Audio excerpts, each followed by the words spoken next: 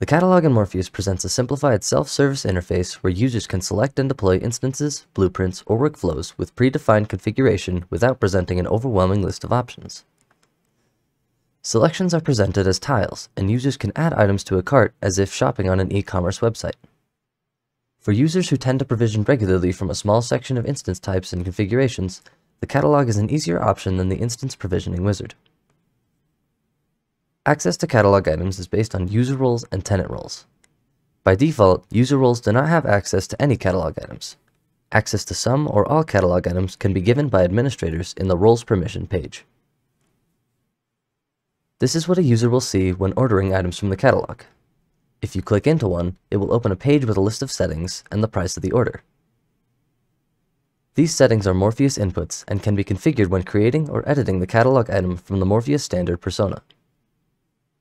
To create or edit catalog items, go to Library, Blueprints,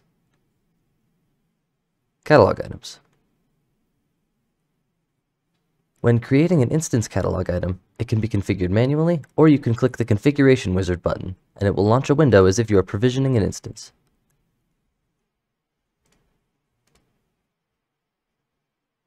The Content section is optional documentation for the catalog item written in Markdown and presented to the user at provision time.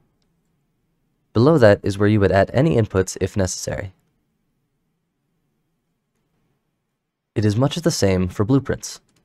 They can be hard-coded, or you can use the Morpheus wizard by clicking Configure.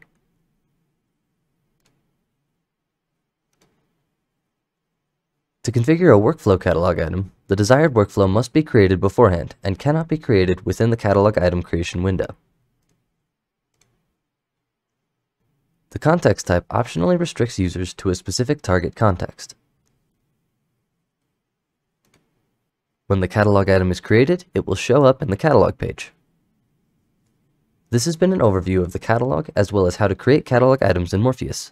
For more details, see our documentation linked below. Thank you.